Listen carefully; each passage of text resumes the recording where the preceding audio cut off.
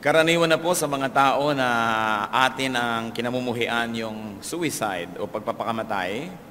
Kaya kumisan pag nangyayari ito sa ilan sa atin ay halos hindi pinag-uusapan sapagkat hindi mainam pag-usapan.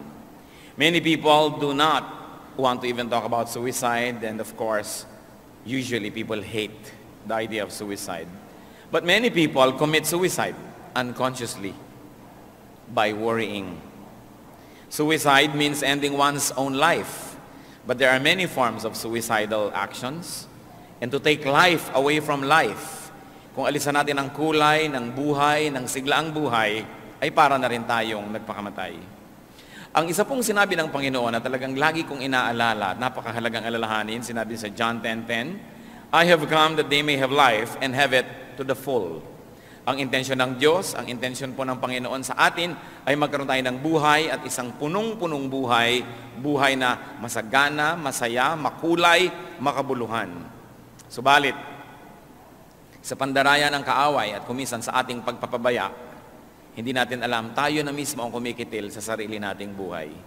Ang ating pong pamagat ng pag-aaral ngayon, do not kill yourself with worry. Heavenly Father, we thank you for your goodness, for your kindness, and never-ending mercies. Thank you for your grace. Thank you for enabling us to be here today. Isang tagumpay niyo, Panginoon, na kami narito ngayon, sumasamba, nagdadala ng aming mga handog sa inyo, nagdadala ng pusong walang laman at nais masidlan ng inyong karunungan. Napasasako kami sa inyo, Panginoon, at nais amin kayong maging tunay na tagapagsalita. Lukuban niyo kami ng inyong kapangyarihan, Buksan niyo po ang aming mga mata, ang aming tainga, at matanggap namin ang katuruan niyo sa araw na ito. Hinihiling po namin, Panginoon, ang isang mapayapang puso. Patuloy niyo po kaming linisin at kung may bahid ng kasalanan na nababakas niyo pa sa aming puso, inihingi po namin ang tawad. Alang-alang, Ama, sa dugong itinigis ang iyong anak na si Jesus. Cleanse us, make us whole, enable us to understand you. Bring us to a higher level of spirituality And we pray that as we ponder your word, you will protect us from lies, from half-truths, from deceptions of the evil one. And Lord, even as we're gathered here, we ask that you protect us from malicious intentions of spirits and even of people. And we pray that the same protection may be upon our loved ones who are not here with us right now. Lord, let your protective mantle be over our heads.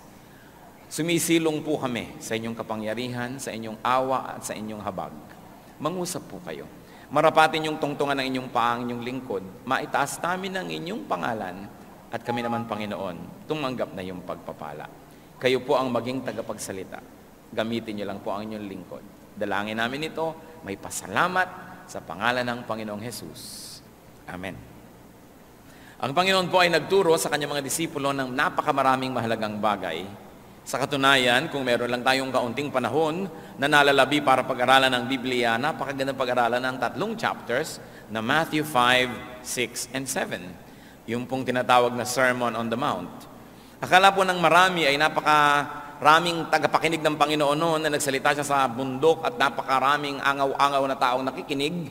Subalit malinaw po ang sinabi sa Scripture, maraming tao ang ginawa ng Panginoon, iniipon niya yung kanyang mga disipulo at sa isang sulok ay tinuruan niya sa makatuwid, ang primary audience ng Sermon on the Mount were the disciples of the Lord themselves. Hindi mga unbelievers, hindi mga kung sino lang, kundi mga disciples. At dahil dyan, mahalaga po na siya sa atin natin, tayong nagsasabing kristyano na tayo, meron na tayong maturity, meron na tayong uh, position sometimes in the church. Ano po ba ang sinasabi ng Panginoon tungkol sa pag-aalala? Matthew 5, 1 to 2, Now when he saw the crowds, he went up on a mountainside and sat down. His disciples came to him, and he began to teach them. Matthew 6, 25 to 27. Therefore I tell you, do not worry about your life, what you will eat or drink, or about your body, what you will wear. Is not life more important than food, and the body more important than clothes? Look at the birds of the air. They do not sow or reap or store away in barns, and yet your heavenly Father feeds them. Are you not much more valuable than they? Who of you, by worrying, can add a single hour to his life? Mahalaga po mga turo. Gustong gusto nating matandaan, maunawaan at makita ang salita ng Diyos. What is the teaching here? Do not worry about your life. Do not worry about your existence, your survival. Don't worry about the very basics. Huwag daw pong mag-alala. Huwag matakot. Huwag lagi nang magkaroon ng agam-agam tungkol sa ating buhay. Anong kakainin ko? May kakainin pa ba ako? Anong iinumin natin? Nauubos na daw yata ang fresh water supply ng planeta. Paano kaya lumipat na sa Canada dahil marami dong mga lakes? O sa Antarctica dahil maraming yelong pwede pang tunawin? Masyadong maraming alalahanin ng mga tao ngayon. Sabi ni Lord, do not worry about what to eat or drink. This is the very core of survival because the Lord says, life is more important than food. Life is more important than just survival. Now don't get this wrong. Hindi sinasabi ni Lord na do not think about what to eat, do not think about provision, that do not plan about it. Ang sabi niya, do not worry. Because when you worry, you will be robbed of many happiness and many joys in life. And there is so much more to life. Sinasabi ni Lord, yung buhay, mas marami pang mahalagang bagay kaysa kung ano ang kakainin. Kumakain lang ang tao para huwag mamatay. Nagdadamit siya para huwag ginawin o para huwag siyang uh, malantad. Pero ang buhay ay lampas pa sa mga anong kakainin at anong isusuot. At ano pa pong sabi niya? Do not worry about your body. What you will wear. So dati basics, food. Very basic yung food eh. Although iba gusto nilang isama yung clothing sa basic needs. Pero ang totoo, food talaga. Kasi nung si Adan at si Eva ay nilikha, binigyan sila ng pagkain, pero wala naman silang damit. Hindi nila kailangan yon nung wala pa silang malisya. At maganda pa ang klima ng planeta, hindi pa nasisira ang nature, kaya hindi nila kailangan ng protection. But then secondarily, you need clothing. So, iba't ibang level ng need ang sinabi ni Lord dito, the very basic, and then the secondary, or the second most basic. But He says, your body is much more valuable than what it wears than what you put on it. At ano po ang logic? Ano ang rason? Ano ang uh, katwiran kung bakit sinasabi ng Panginoon na huwag mag-alala kung anong kakainin at dadamtin? Because God feeds and God takes care of the birds. God takes care of creation. And therefore, God will take care of you. God will feed you. Ano po sinasabi dyan? Eh, ang mga ibon nga, eh, pinapakain eh. Nakakita ka na ba ng ibon na nagtatanim? Nakakita ka na ba ng ibon na nagsasaka? Pero, ibon yan. Kahit na mamera lang yan at uh, natitira-tirador, nababaril-baril, hindi maaaring, hindi inaalagaan niya ng Diyos. Eh, ikaw pa, tao ka. Yun ang logic. Iba yung alam, iba yung pinaniniwalaan ng salita ng Diyos, iba yung pinanghahawakan, at iba yung nagkakaroon tuloy ng kapayapaan dahil nagtitiwala tayo sa salita ng Diyos. We are not here to educate one another on the words of God. Most of these things we already know. But we are here to continue to ask God to help us understand it so we can live by the words of God. Dahil ang sabi ni Lord kay Satan, man does not live by bread alone, but by every word that comes from the mouth of God na ang tunay nating pagkain, ang tunay nating ikalalakas, ikalulusog, ay yung salita ng Diyos. Salita na hindi lang nadidinig, hindi na may memorya, kundi salita na nagkakaroon ng buhay kung ating ipinamumuhay. What else is the logic? One, that God will take care of us. Second, that worrying cannot extend life. Hindi naman nadadagdagan talaga yung haba ng buhay kung mapag-alala tayo, umiiksi pa nga. Hindi naman nadadagdagan ng kasiyahan kung mapag-alala tayo. Nababawasan pa nga. Matthew 6, 28 to 30. And why do you worry about clothes? See how the lilies of the field grow. They do not labor or spin. Yet I tell you that not even Solomon in all his splendor was dressed like one of these. If that is how God clothes the grass of the field, which is here today and tomorrow is thrown into the fire, will He not much more clothe you, O you of little faith? Napakalinaw naman. Bakit ka nga nag-aalala tungkol sa isa dadamit? Tingnan nyo eka ang mga bulaklak, ang mga damo na namumulaklak sa parang hindi naman sila naghahabi ng tela, hindi sila nag didisenyo, nagbuburda, Hindi sila nag-paint ng mga tela. Pero tingnan mo kung paano sila damtan ng Diyos. Kahit si Solomon, na pagkarangya-rangya ng mga isinuot, hindi man lamang nadaig ni Solomon ang mga bulaklak na nilikha ng Diyos. At sabi niya, kung yung mga bulaklak lang at damo-damo, buhay na buhay ngayon pero bukas ay lanta na at susunugin na. Eh, pinag-iisipan pa ng Diyos na damitan ng magandang kulay, magandang disenyo. Ikaw pa ba na mahaba ang buhay? Ikaw pa ba na may panghabang panahon? Ikaw pa ba na nilikha sa wangis ng Diyos? At ikaw pa ba na dahilan kung bakit ang anak ng Diyos ay namatay sa krus ng Kalbaryo? Ikaw pa kaya ang hindi damitan? So, Jesus says, don't worry about these things. Because worrying cannot make one look beautiful. Sa katunayan, nakakapagpapangit pa nga yung pagpapaalala. Kaya nakikita niyo po yung mga lalaking magandang magdalaga ng kanilang mga may bahay. Aba, magagandang mga may bahay. Para mga sariwang-sariwang ubas. Pero pag ang may bahay ay mukhang pasas, ang sisihin nyo yung asawa. Hindi mo yata inaalagaan ng puri. Hindi mo yata inaalagaan na magtiwala siya at huwag siya mag-alala. Kung wala ka, kaya na yan, nagkanda, tuyot-tuyot na. Pero ang tao pag inaalagaan, gumaganda. Ang napakalakas mo magpapangit pag-aalala. Kaya sabi ng Panginoon, huwag kayong mag-alala.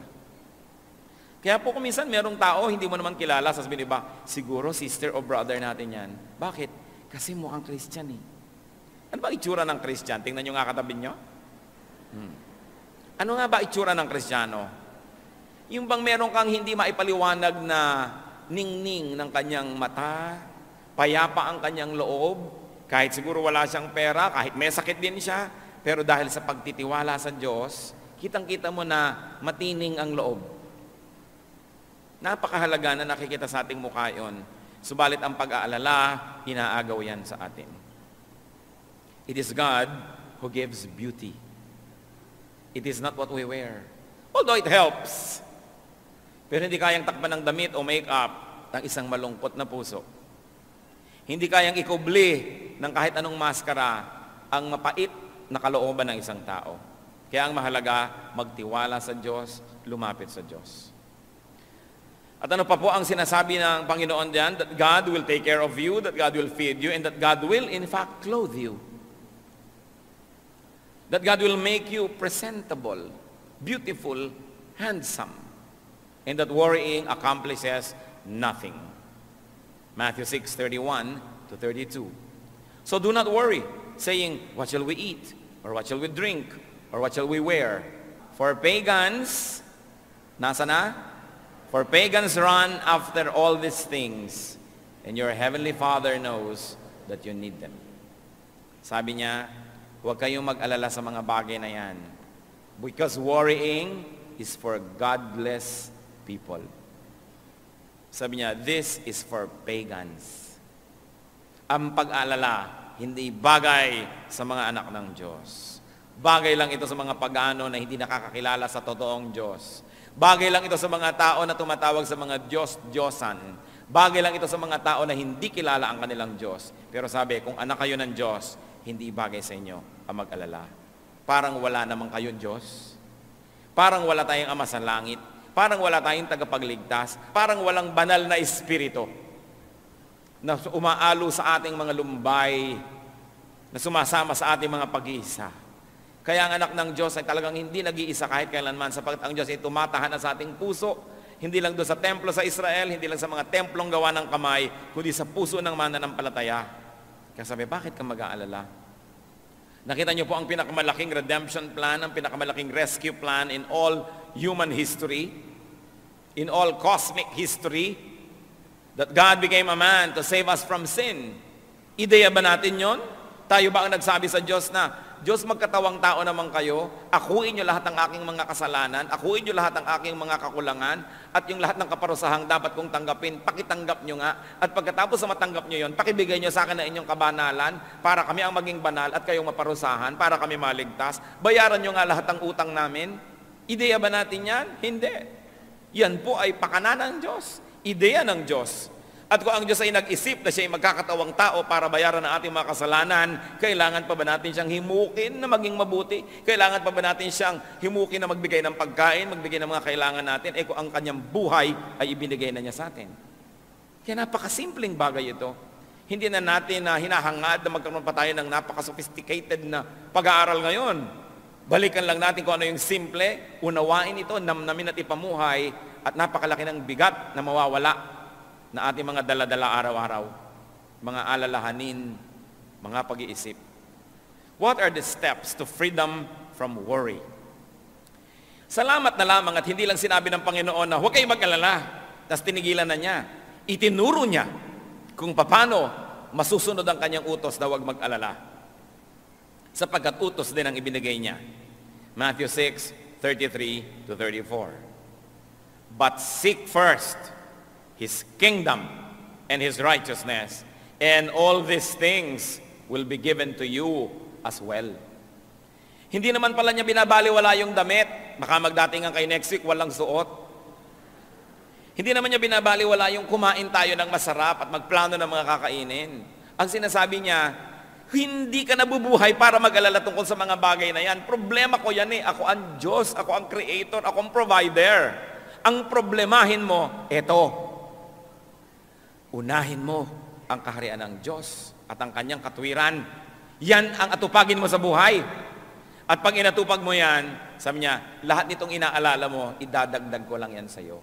Dagdag lang yan eh. Hindi yan ang mahalaga. Icing lang yan.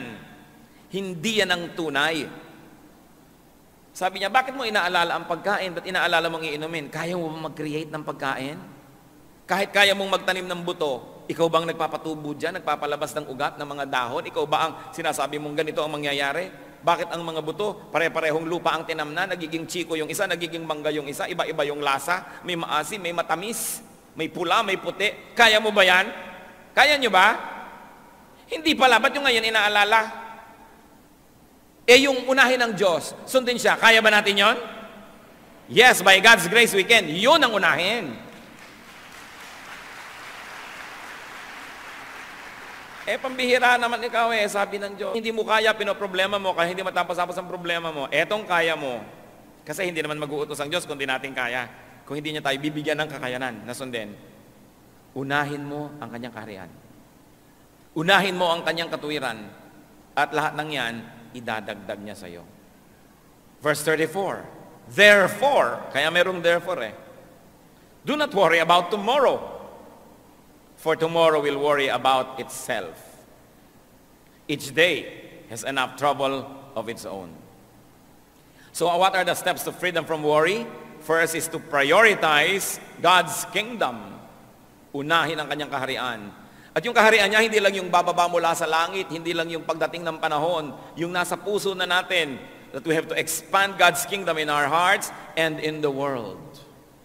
Ang kaligtasan natin at kaligtasan ng iba, ang kanyang katuwiran, ang kanyang righteousness, unahin. Unahin natin na maging mabuti, mabait, makadiyos, malinis. Yun ang unahin natin. Kasi yung iba, inuuna nila na magkapera, magkaroon ng isusuot, magkaroon ng kakainin, kaya ang kaluluwa ibinebenta kay Satanas. Di bali na magkasala ako, mandadaya ako, magnanakaw ako kasi kailangan kong kumain, kasi kailangan ko magkadamit, kasi kailangan ko ng pambayad sa kuryente, sa tubig, tuition fee ng mga bata, etc. etc. May sakit ang nanay ko, sa mga agaw ako ng cellphone ng may cellphone. Sabi ni Lord, lahat ng bagay na kailangan nyo, kaya kong ibigay. Ang gawin nyo, pumwesto kayo doon sa lugar na dadaanan ng pagpapala ko. At yung lugar na yon, yung lugar ng kabanalan, lugar ng pagiging makadiyos. At pag doon ka lumagay, ang Diyos ang may problema kung paano kanya bibigyan ng yung kailangan. Eh yung iba sa paghahanap nila ng kanilang mga kailangan sa buhay, lalong lumalayo sa Diyos. Kaya lalong nakakalubog-lubog, lalong nakakawindang-windang ang buhay, at lalong napapahamak. Sabi ni Lord, gusto nyo ng mga kailangan nyo sa buhay? Ako ang nakakapagbigay niyan. Pag gusto ko magbigay, hindi ako kailangan pilitin. At kung ayaw ko, hindi rin ako napipilit na magbigay. Eh bakit hindi mo ko bigyan ng kasiyahan? Pag tayo nabubuhay ng ayon sa wangis ng Diyos, kasi tayo ginawa sa wangis niya, nilikha sa wangis niya, nasisyahan siya. At kung nasisyahan ba ang Diyos, napakahirap para sa Kanya na mag-blow out. Napakahirap pa sa Kanya na magbigay ng mga gusto niyang ibigay sa atin. Kaya ang dapat nating unahin, masiyahan ang Diyos sa ating pag-iisip, pananalita at pamumuhay. At pagkatapos, siya ang may problema kung paano tayo papakanin. Parang mga anak, Pinag-aaral ka ng magulang mo, ang problemahin mo mag-aaral kang mabuti, ipasa mo ang iyong mga subjects, huwag kang mag-drugs, huwag kang mag-premarital sex, huwag kang nobyo-nobyo agad ang inaasikaso. Yun ang problemahin mo. At yung magulang mo naman, ang namang problema nang ipangbabayad mo sa school, kakainin mo, ibabayad sa kuryente na ginagamit mo sa mga ilaw mo sa bahay. Kasi mayroon tayong ganong role. Ang role ng Ama is to provide for us. Ang role natin, sumunod. Sumunod. Bigyan siya ng kasiyahan. At sabi, all these things will be added unto you. Why? Because you have placed yourself under God's governance, under God's economy, under God's care. Pag tayo po nagpakabuti, sa negosyo, fair ka, di ka nandadaya. Empleyado ka, di mo dinadaya ang iyong employer. Employer ka, hindi mo dinadaya ang iyong mga empleyado. Sasabihin ng logic ng mundo, ay, lugi ka. Because you can get more by cheating. Pero pag sumunod po tayo sa Diyos, inuna natin ang kanyang kabutihan, ang totoo nun, ang ginagawa natin ay nagpapasakop tayo sa Kanya. Meron ba kayong mga alaga sa bahay? Sino sa inyo may mga alagang aso? Yan. Sino may mga alagang pusa? Sino may alagang ibang hayop pa? O, pagka po ba sila umiiyak at gustong kumain, binubugbog nyo? Hindi. Kumisa nga yung ribbon ng aso, ribbon din ng amo eh. Kung ano yung suot ng amo, suot ng aso rin. Pagka ba yung pet ninyo ay nagiginaw, ay lalo niyong binubusan ng yelo? Pagka ba may ibon na dumapo sa inyong bintana dahil may bagyo at sira-sira ang pakpak niya, sabi niyo, ay mahina ang ibong to, ano gagawin niyo? Dug, dug, dug, dug, dudurugin mong ibon? Hindi. Aalagaan mo dahil dumapo sa iyong bintana, nagpapaampon sa iyo. Sa palagay niyo, anong gagawin ng Diyos kung sa Kanya tayo nagpapaampon? Kakawawain ba tayo? Ah, dahil sumusunod ka sa akin, masyadong honest ka sa negosyo, pwes, malulugi ka. Ganon kaya yon? Dahil hindi ka nandadaya, hindi mo ginagaya yung ginagawa ng iba na mabilis kumita, lagot ka, kawawa ka sa akin. Yun kaya ang gagawin ng Diyos? Hindi.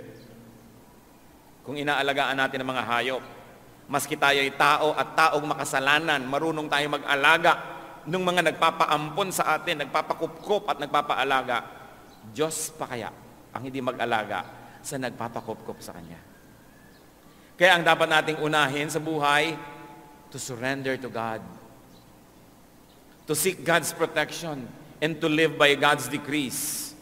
Because God is an infinitely better, in fact, He is the best keeper.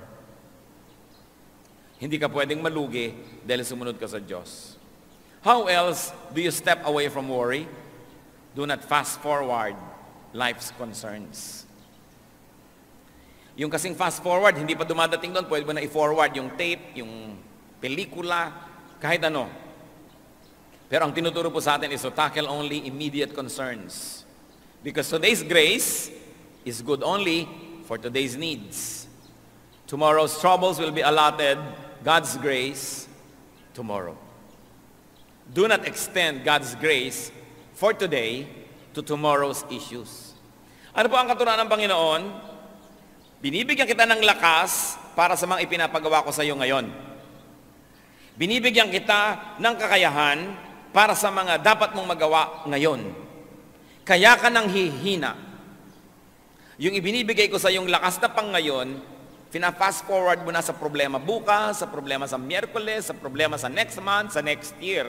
Kaya yung lakas na pang ngayon, dapat sana'y sapat, kinakapos, kasi konti na lang itinitira mo, iminumudmud mo na doon sa mga problemang di pa dumarating.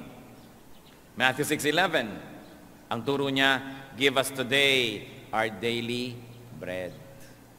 Kung ano lang po ang kailangan ko ngayon, yun lang po ang ibigay niyo sa akin. Nakita niyo po itong nagpaulan ng mana o tinapay mula sa langit ang Diyos? Ang bilin niya sa mga tao, ipunin niyo lang yung kailangan niyo para sa araw na to. Eh yung iba hindi nagtitiwala. Sabi, ay naku, baka hindi na umulan bukas, baka wala ng mana bukas, be wise. So ang ginawa nila, nag-ipon sila ng higit sa kanilang kailangan. Nakita nila, biglang inuod, nabulok. At sabi ng Diyos, o bakit may mga nabubulok na mga mana sa inyong mga tent? Eh kasi ho, kumuha kami ng pambukas eh. Di ba sabi ko na nga na kunin nyo lang yung pang ngayon. Eh paano kung bukas wala kayo dyan? Actually, maraming tao ganun ngayon ang trato sa Diyos. They spend today's energies for tomorrow's worries. Therefore, it is not enough for tomorrow's worries because it has to share with today's needs. And today's needs don't get enough energy because it shares with tomorrow's needs. Lamentations 3, 22 to 23. Because of the Lord's great love, we are not consumed, for his compassions never fail. They are new every morning. Great is your faithfulness. Sabi, hindi tayo nalilipol, hindi tayo nauubos dahil sa pag-ibig ng Diyos na di nagmamaliw. Ang kanyang pag-ibig ay bago ng bago, araw-araw. Kung tayo po'y lagi mag-aalala, ano mangyayari sa atin? Magiging duwag tayo. Hindi natin magagawa ang mga ipinagagawa sa atin ng Diyos. Paliliitin natin ang paliliitin ang ating ginagawa. Sigun lamang at bagay lamang doon sa maliit na ating pananaw at sa maliit na pananampalataya. Pero kung tayo maduduwag at magtitipid ng magtitipid, yun na lang ang titingnan nyo. Sayang ba nagastahan na ang salita ng Diyos ay ipamalita at madinig, hindi lang dito sa loob, kundi pati sa labas? I don't think so. Pero ang dapat nating unahin lagi, sundin ng kalooban ng Diyos. Tayo mabuhay sa kanyang mga katuruan. Naniniwala po ako na ang lahat ibibigay niya. Basta tama ang ating intensyon at tayo nananalig.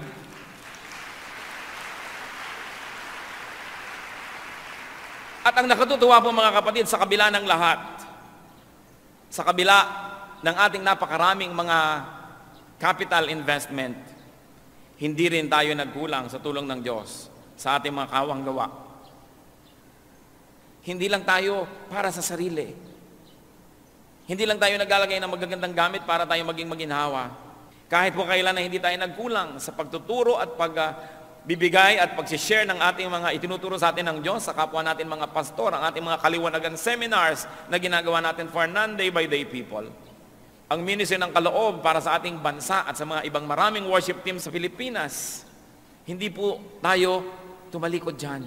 Sabay-sabay. Dahil ang Diyos, sinabi niya, seek first His kingdom and His righteousness, and all this will be added to you. Ang mahalaga lang po, hindi tayo nagiging makasarili, at hindi tayo nalilibang at nalalasing sapagkat alam natin, malaki ang Diyos natin. Hindi ipaghihirap ng Diyos ang malalaki nating mga proyekto kung ang puso natin ay nakasisiya sa Kanya. Kaya ano pong ginawa natin over these years, we focus on building God's kingdom, on teaching and living in God's righteousness. We spend money airing radio programs across the nations, two national stations, several regional stations. Tinutustusan po natin buwan-buwan, madinig ng mga listeners ang mga programa natin. Wala namang mga commercial yan.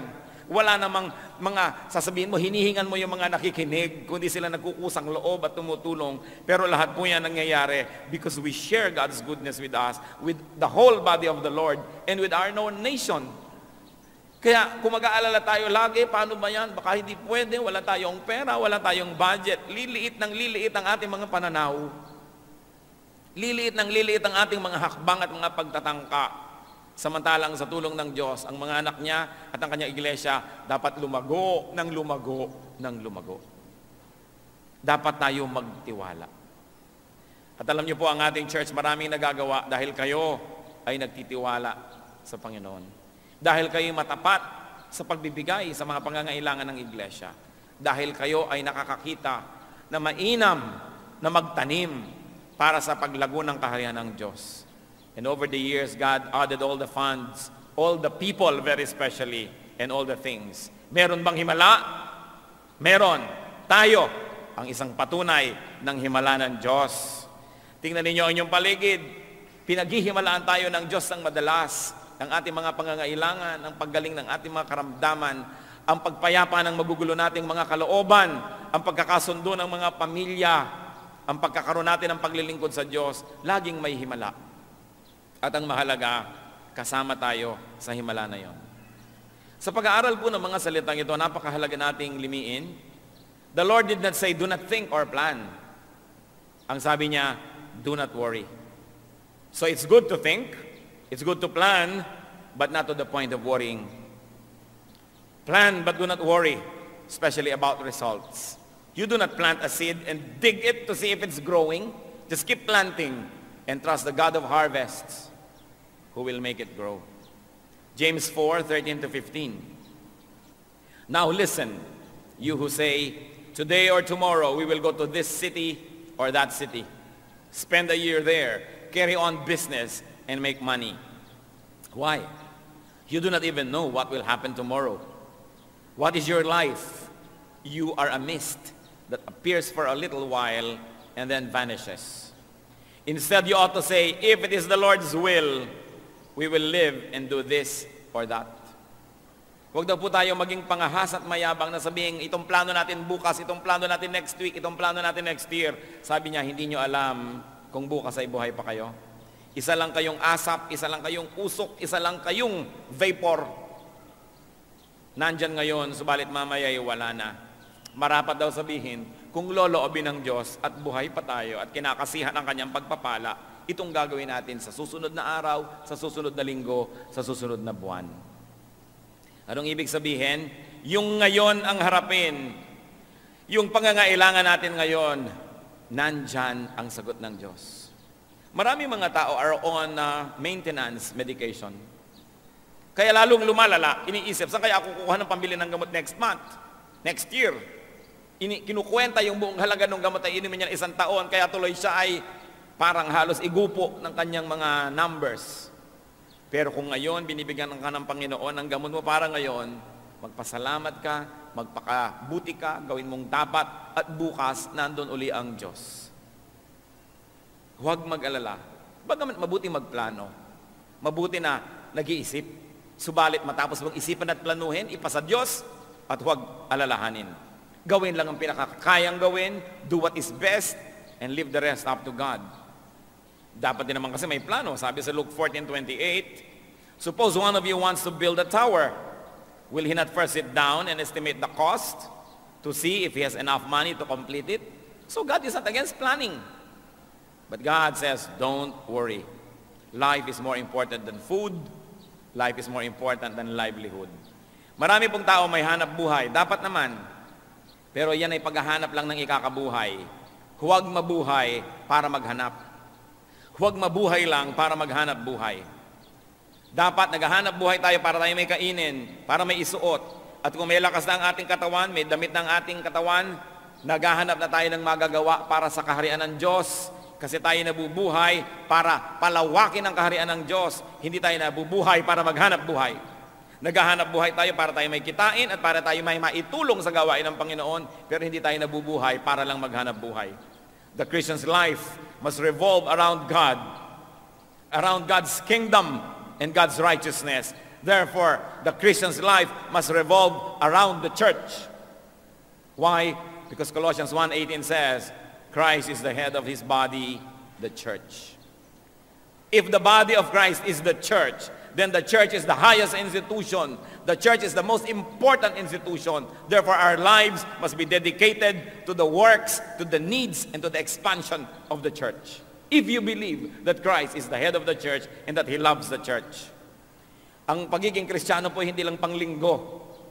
Kailangan umiinog ang buhay natin sa church ng Panginoon Sandali lang tayo sa mundo, nakikiraan lang tayo rito. Ang tunay nating sasapitin ay ang presensya ng Panginoon. At marapat lang na pag humarap tayo sa Kanya, meron tayong maisulit at maialay sa Kanyang paanan. Ang ating mga paglilingkod, ang mga nagawa natin. Bunsod na rin at tulong na rin ang mga ibinigay niya sa atin. Maghanap buhay para may kainin at damitin at para makapaghandog sa Diyos. Subalit kung hanap buhay lang ang ginagawa natin at wala nang iba, hindi tayo nilikha ng Diyos para maghanap buhay. Nilikha niya tayo, anong sabi sa Bible? To do the good works that He has prepared in advance for us to do. Bawat isang tao may itinakda ang Panginoon. Ito ang mga dapat mangyari sa kanyang lifetime. Ito ang mga dapat niyang matupad. Ito ang dapat na makamit. Kaya tingnan po natin anong kalooban ng Diyos para sa atin. Kaya habang tayo naghahanap buhay, nag-aaral, meron tayong mga pamilyang inaalagaan, meron tayong mga hobbies, meron tayong mga pinagkakaabalahan, we must be free enough to serve. And we must be free enough to have a ministry.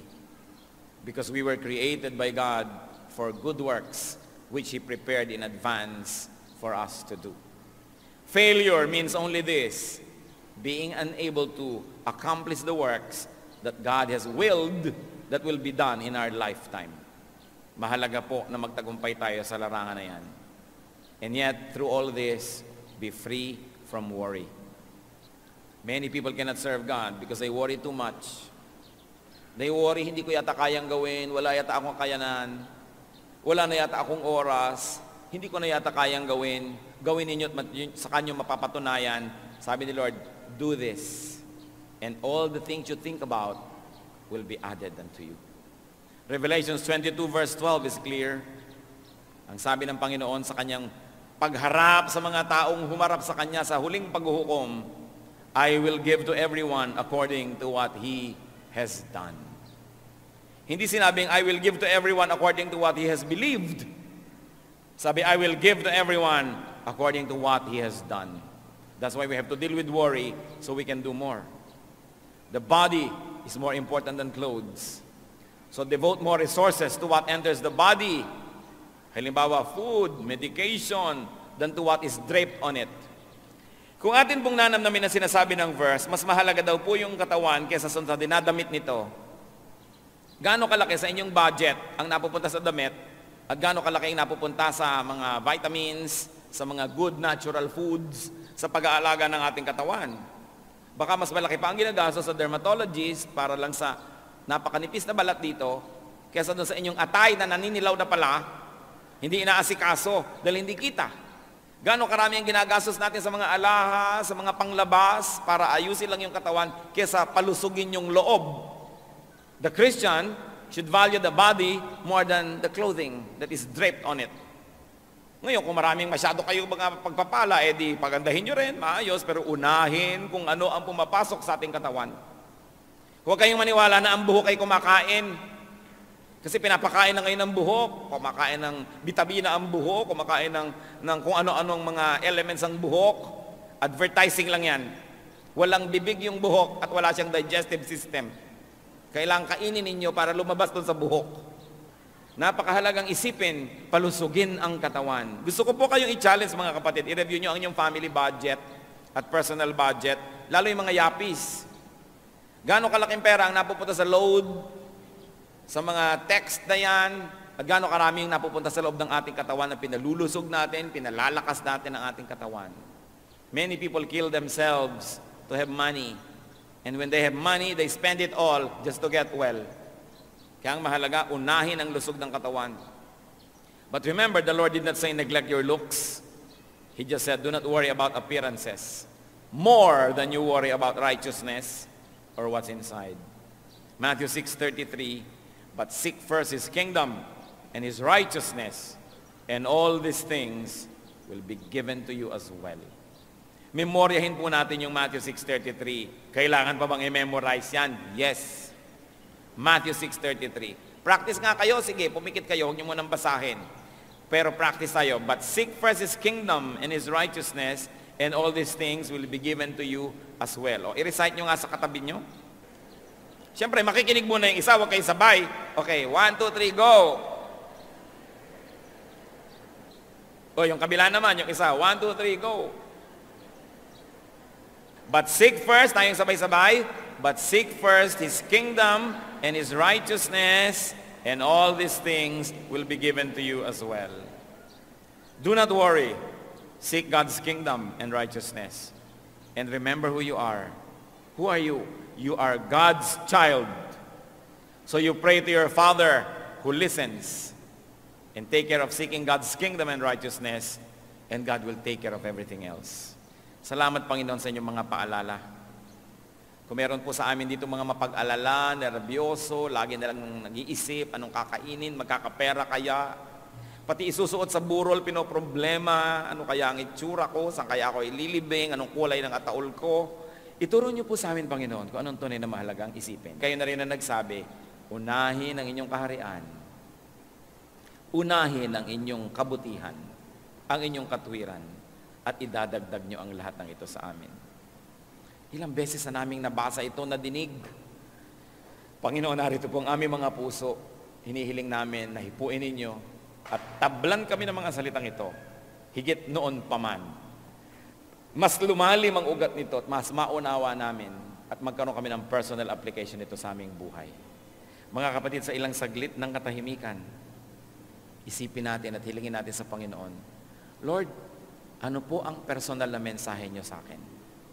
Pinagsalusaluhan namin lahat ng mga salitang ito, pero ano po ang para sa akin talaga? Ituro niyo po. Buksan natin ang ating puso at nang kausapin tayo ng Diyos. Lalong-lalo yung mga mapag-alala, nais kong ipanalangin kayo. Inuudyo ka na ko ng Espiritong ipanalangin kayo. At narito siya para magpala. Sino man sa kalagitnaan natin ngayon, mapag-alala, nag-aalala kayo, natatakot kayo sa future, lagi kayo nag-iisip, kung paano ba kayo mabubuhay, paano ma-maintain ang buhay, tumayo kayo, hihingi tayo sa Panginoon ng lakas ng loob, pananalig, praise God. Sino pa? Narito ngayon ang Panginoong Diyos, ang kanyang Espiritu. Sino magsasabi, Lord, mapag-alala po ako talaga, pero mahirap naman talagang gawin ito. Lagi na lang ako nag-iisip, kasi padre de pamilya ako, breadwinner ako, may needs ang pamilya ko, etc., etc. Sino pa ang nagsasabing, Lord, madalas po talaga nawawalan ako ng ligaya, natatakot ako pag nag-aalala. So alisin niyo po ang mga takot na ito. Alisin niyo, Panginoon, at nais kong palitan ng pananalig. Sino pa pong nais tumayo? Sa mga nakatayo, personally, manalangin muna kayo sa Panginoon, kausapin niyo. Una, ihingi niyo ng tawad ang pag-alala. Kasi sabi niya, huwag mag-alala. So pagka nag-aalala tayo, sinusuway natin ang kanyang utos, nagkakasala tayo. So kilalanin natin ito bilang kasalanan at humingi tayo ng tawad sa Kanya. Personally, silently you pray and then later on we're going to pray together. Kayong Diyos na hindi namin pwedeng paglihiman. Kayong Diyos na nakakabatid ng aming mga kabigatan. Kayong Diyos na nagsabing huwag kami mag-alala. Kayong Diyos na nakakaalam sa hinaharap. Alam niyo, ang bawat tatahakin naming landas, kaya kayong nakakapagsabing huwag kami mag-alala sapagkat hinanda niyo yun. Pakisiyasat niyo po ang bawat isa. Panginoon, pawiin niyo po ang mga pag-aagam-agam. In the name of Jesus, we rebuke the deceptive work of Satan in our midst. We reject and uproot from our hearts the deceptions of the evil one that makes us worry. And we declare ourselves free, free to enjoy God's peace, free to believe in God, and free to have peace. Panginoon, kumilos po kayo sa kalagitnaan namin. Palakasin niyo ang aming pananalig, dagdagan niyo pa. At nawa, Panginoon, makita namin yung kahalagahan at kagandahan ng inyong utos. To take life one day at a time. Not to fast forward our worries and concerns because your blessings are new every morning. Tuwing binibigyan niyo pa kami ng araw ng panibagong buhay, kakambal nito ang pagpapala at mga kailangan namin sa araw na yon. Ipaunawa niyo ito sa amin sa malalim na paraan. Panginoon, pawiin niyo po ang pangamba na yung mga anak. Turuan niyo kaming magtiwala sa iyong salita. At itong mga salita na ito, mailapat namin sa pang-araw-araw na buhay. Lord, teach us to translate into daily activities and daily works, O oh Lord, this kind of faith that our faith will find fruition, will find flowering in our deeds every day.